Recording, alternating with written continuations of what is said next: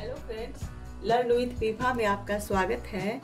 आज मैं आपके साथ शेयर कर रही हूँ, ठंडा का मौसम चल रहा है अभी। मैं एक ड्रिंक बना रही हूँ, जिसको मैं आपके साथ शेयर करना चाह रही हूँ।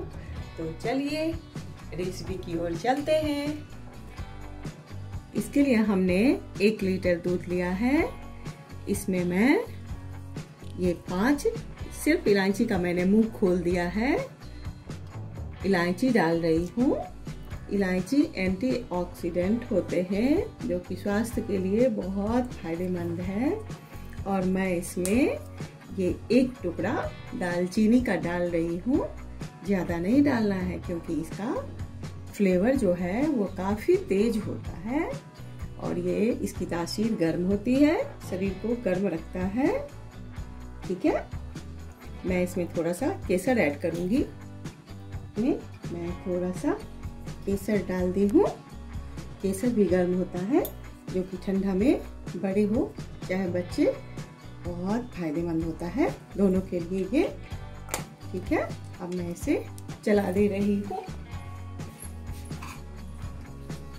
चला दे रही हूँ।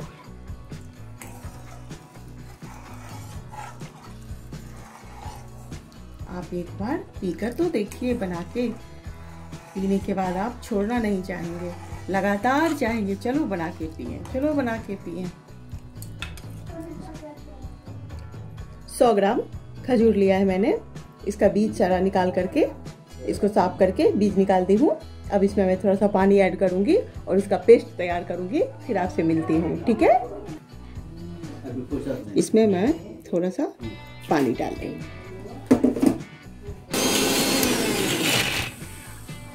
ये देखिए, मैंने पेस्ट तैयार कर लिया है।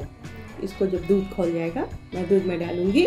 भी काफ़ी गर्म होता है, जो शरीर को जाड़े में गर्मी, अंदर भीतर से गर्मी बनाए रखता है। बॉडी को अभी दूध में उबाल नहीं आया है। मैं इसको कलर तो चेंज हो गया है। देखिए फ्रेंड्स जब इसमें उबाल आएगा, उसके बाद दो मिनट इसको खोलाऊँगी, फिर इसमें खजूर वाला पेस्ट डालूँगी। पहले इसलिए नहीं डाल रही हूँ, ये ध्यान रखना आप भी फ्रेंड्स क्योंकि मैं अभी डालूँगी तो हो सकता है कि दूध फट जाए। इसलिए मैं अभी नहीं डाल रही हूँ, जब इसमें उबाल आ जाएगा, उसके बाद मैं डालूँगी।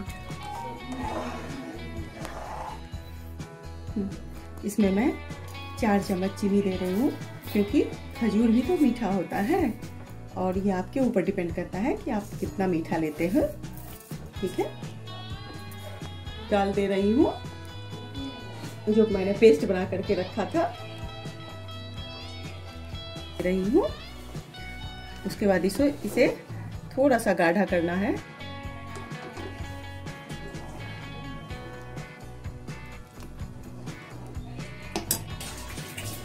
ये काजू छोटे छोटे पीसेज में डाल रही हूँ।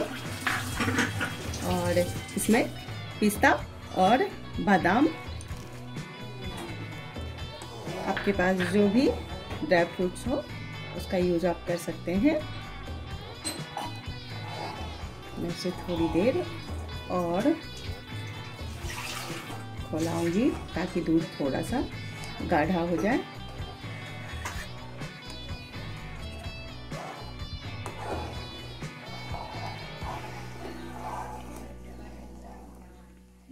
गैस बंद कर दिया है।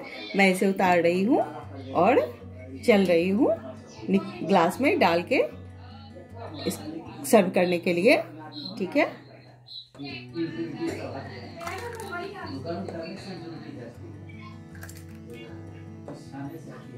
काफ़ी जल्दी होता है ये ड्रिंक्स।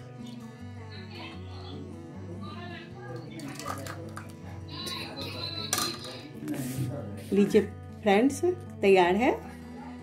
विंटर ड्रिंक्स अब अगर आपको हमारा रेसिपी पसंद आता हो तो आप इस वीडियो को ढेर सारा लाइक और शेयर करें और मेरे चैनल को सब्सक्राइब करना ना भूलें।